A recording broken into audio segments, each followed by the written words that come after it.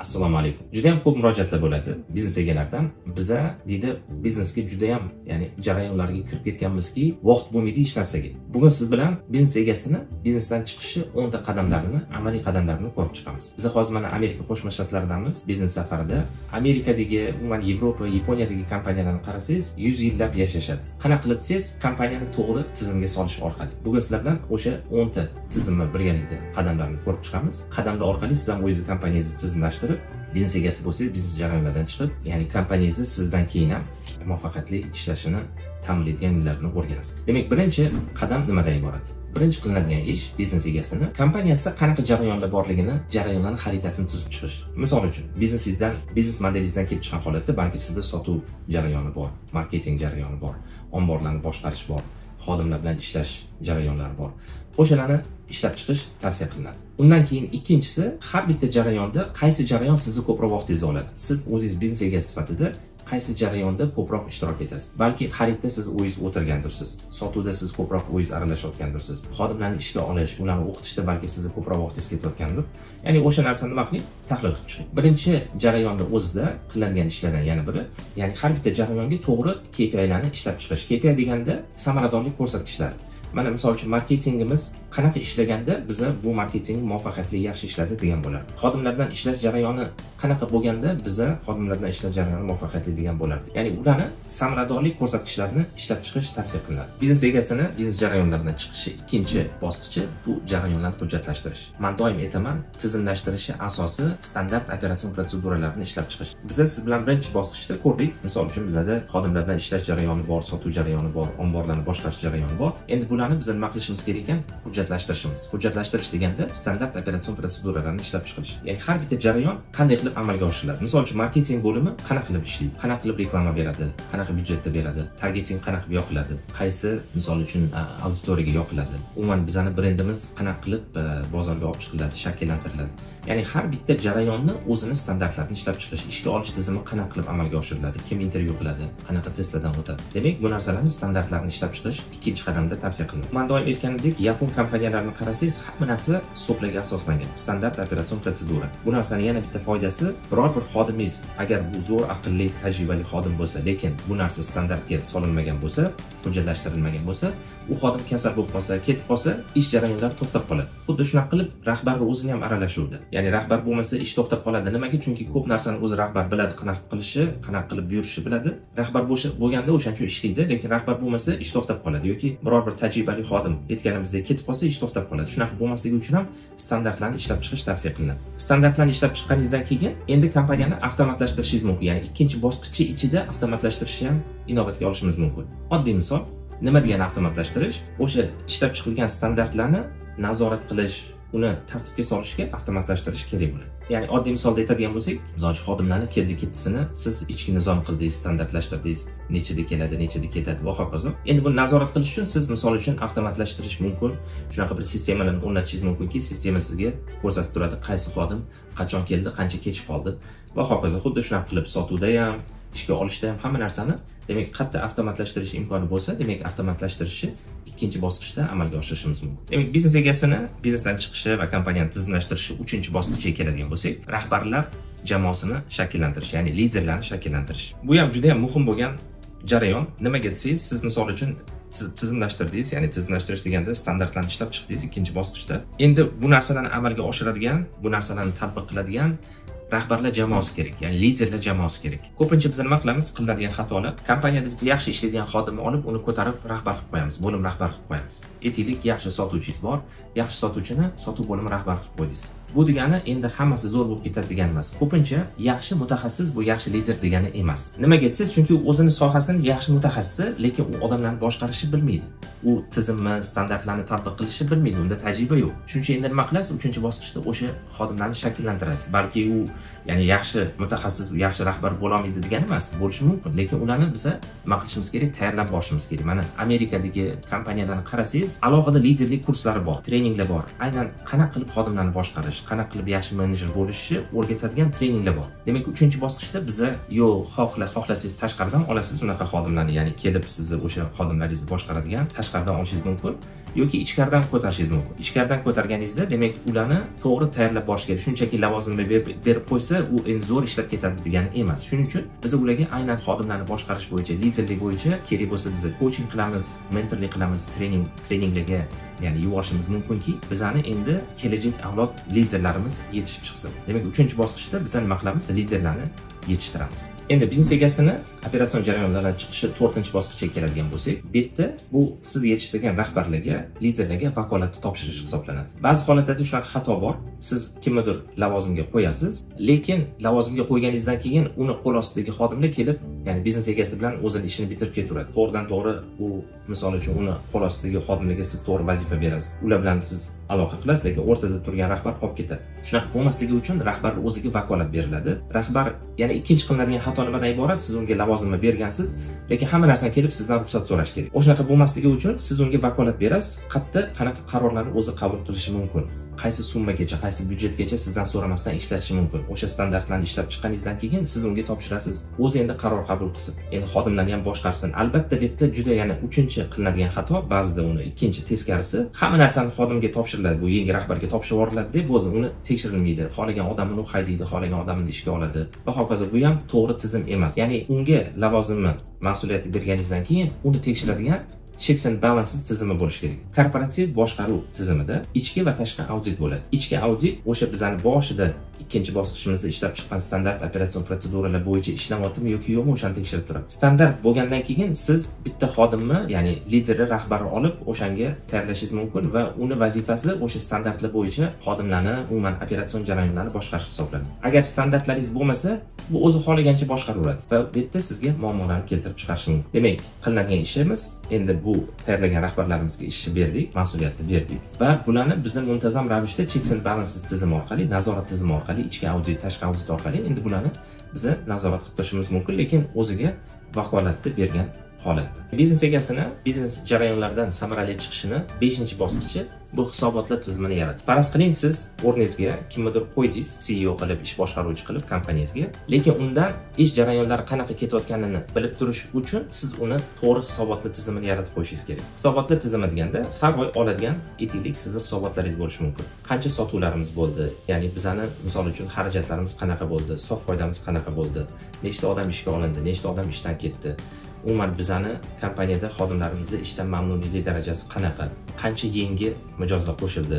Qancha mijozlarimizni misol uchun qancha mijozlar bizadan chiqib ketdi? Va hokazo ya'ni shunga o'xshagan biznesni muvaffaqiyatini yoki muvaffaqiyatsizligini ko'rsatadigan hisobotlar tizimini yaratib keyin o'sha siz ya'ni qo'ygan rahbardan o'sha hisobotlarni olib tashlashingiz kerak. Bu har oy bo'ladigan hisobot bo'lishi mumkin har hafta oladigan hisobotingiz bo'lishi mumkin yoki har kvartalda. Va hokazo ya'ni uni vaqt oralig'ini siz o'zingiz qo'yishingiz mumkin. Lekin juda yam muhim bo'lgan narsa o'sha metrikalarni to'g'ri qo'yishingiz. Buni hali boshida aytganimizdek KPI qo'yganingizda rahbarga ham siz KPI qo'yasiz. Manga har oy ya'ni hisobotlarni ko'rishganimizda hisobotlarni man ko'rib turishim kerak. Qancha savdo bo'ldi qancha sof foyda bo'ldi xarajatlarimiz qancha bo'ldi. Va hokazo aytganimizdek bu narsani muhimligi shundan iboratki agar siz boshqaruv metrikalari bo'lmasa bu odam yaxshi ishlayaptimi yomon ishlayaptimi siz bilolmaysiz. Hamma narsa subyektiv bo'lib qoladi. Subyektiv degani faktlarga asoslanmagan. Yaxshi ishlayapti deysiz yoki yomon ishlayapti manga yoqmayapti deysiz lekin faktlar yo'q. Faktlar bo'lishi uchun demak hisobot tizimi joriy qilingan bo'lishi kerak. Biznes egasi demak biznesdan chiqib kompaniyani tizimlashtirib uni misol uchun boshqa odamga topshirishda muhim bo'ladigan oltinchi bosqich bu kuchli korporativ madaniyatni bo'lishi. Faraz qiling agar kompaniyada korporativ madaniyat bo'lmasa korporativ madaniyat nimadan shakllanadi? Desangiz uch xil asosiy omil birinchisi bu kompaniyani rahbaridan ikkinchisi ichki nizom qoidalari standartlardan va uchinchisi kompaniyani qadriyatlaridan agar siz kompaniyada kuchli madaniyat qo'ymasdan turib biznesdan chiqadigan bo'lsangiz u madaniyat o'zgaruvchan bo'lib qoladi. Bitta odam keldi u o'zini madaniyatini misol uchun nima qiladi? Tatbiq qiladi boshqa odam kelib boshqasini qiladi. Ya'ni kompaniyada siz bo'lsangiz bo'lmasangiz xodimlaringiz nima qilishi mumkin nima qilishi mumkin emas. Qaysi qadriyatlar bo'yicha ishlaymiz qaysi qadriyatlar bo'yicha misol uchun biza bizaga aytaylik mumkin emas bo'lgan narsalar bor ya'ni o'sha narsani bilgandan keyin siz bo'lsangiz bo'lmasangiz xodimlaringiz o'sha qadriyatlar bo'yicha ishlashadi o'sha nizomlar o'sha qoidalar bo'yicha ishlashadi. Shuning uchun kompaniyani kimgadir topshirib chiqib ketishdan oldin qiladigan ishingiz kompaniyada kuchli korporativ madaniyatni shakllantirish. O'shanda qaysi rahbar kelishidan qat'iy nazar? Kompaniyada qanaqa o'zgarish bo'lishidan qat'iy nazar? Xodimlar biladi o'zini qanaqa tutishi va qaysi yo'ldan yurishi qanday qilib qaror qabul qilishi xodimlaringiz yaxshi bilishadi. Oddiy misol qilib tushuntiraman. Misol uchun ba'zi kompaniyalarda qadriyatlardan biri aytishadiki biza misol uchun qadriyatlardan biri halol aytaylik ya'ni birovni haqqiga xiyonat qilmaslik to'g'ri so'z bo'lish yaxshi ishlash. Agar bu qadriyat bo'lmasa aytaylik ba'zi xodimlaringiz qing'ir ishlarni ham qilishi mumkin. Aytaylik kompaniyada mijozlarni haqqini yeb qo'yishi mumkin. Va hokazo lekin siz shunaqa qadriyat qurgansizki aytgansiz o'zingiz o'rnak bo'lib ko'rsatgansiz bu narsani. Buni haqqi bizaga kerak emas. Biza doim to'g'ri so'zli to'g'ri to'g'ri gapiramiz yolg'on ishlatmaymiz. Ya'ni foydadan foydamizni ko'paytiramiz deb yolg'on narsalarni ishlatmaymiz degan narsani nima qilgansiz? Kompaniyangizga singdirgansiz va ertaga siz bo'lmasangiz ham kompaniyada xodimlar xuddi shu qadriyat bo'yicha ishlashadi. Shuning uchun ham demak siz bo'lmasangiz ham kompaniyada to'g'ri qadriyatlar shakllanishi uchun demak korporativ madaniyatni e, shakllantirish tavsiya qilinadi. Kompaniyani tizimlashtirib biznes egasini biznes jarayonlaridan chiqishi demak yettinchi bosqichi korporativ boshqaruv e, tizimini o'rnatish. Korporativ boshqaruv tizimi nima degani desak misol uchun mana faraz qiling siz biznes egasiz o'rningizga demak shuncha jarayonlardan chiqib oltita jarayondan chiqdingiz va o'rningizga odam qo'ydingiz. Endi siz o'zingiz nima bilan shug'ullanasiz va sizni biznes aralashuvingiz qanaqa holatda bo'ladi? Ya'ni biznesdan chiqish degani umuman hamma narsani tashlab ketib qolish degani emas. Siz biznes egasi sifatida siz ham biznesda baribir qanaqadir rolingiz qolishi kerak. Endi rol nimadan iborat bo'ladi degan savol. Agar siz aytsangizki ceo qo'ydik ish boshqaruvchini qo'ydik ya'ni boshqaruvchi direktorni qo'ydik endi siz uni kelib ishiga har kuni kundalik jarayonlarga aralashishingiz bu to'g'ri emas. Siz unga vakolatni berdingiz kpilarni qo'ydingiz undan hisobotlarni olib turibsiz. Qanaqa holatda man endi biznesga? Mani aloqam nimada bo'lib qoladi desangiz endi siz direktorlik kengashiga ko'tarilishingiz kerak bo'ladi. Korporativ boshqaruv tizimi qo'yilgan kompaniyalarda demak direktorlik kengashi bor. Direktorlar kengashini vazifasi kompaniyani strategik yo'nalishini aniqlash. Bu yerda kompaniyani katta kichkinaligiga qarab turib direktorlar kengashi uchta beshta o'nta sakkizta odam bo'lishi mumkin. Ya'ni kompaniyani kattaligiga qarab turib aytaylik endi siz kengashga nima qilasiz? O'sha sohani ekspertlari bo'lgan o'sha sizni biznesingizni yanada keyingi bosqichga olib chiqishga yordam bera oladigan mustaqil demak a'zolarni taklif qilasiz bu direktorlar kengashiga. Va direktorlar kengashida o'zingiz ham o'sha kengash raisi sifatida o'tirasiz chunki bu sizni o'zingizni biznesingiz faraz qilaylik yuzda yuz bu sizni o'zingizni biznesingiz. Chet mamlakatlarda bu biznesga misol uchun boshqa investorlar ham pul tiksa o'sha investorlar o'zini odamini yoki investor bo'lib o'zi o'tiradi yoki o'zini odamini qo'yadi direktorlar kengashiga va bu yerda strategik masalalar muhokama qilinadi. Har uch oyda bir ko'rishiladi va biznes qaysi yo'lda yuradi e, nima ishlar qilinadi va hokazo u hal qilinadi va keyin u narsa ijrochi direktorga tushiriladi. Ijrochi direktor keyin bu narsani tatbiq qilishini ijrosi bilan shug'ullanadi. Endi hozir siz direktorlar kengashiga o'tganingizdan keyin o'z rollaringizni aniqlab qo'yishingiz kerak. Biza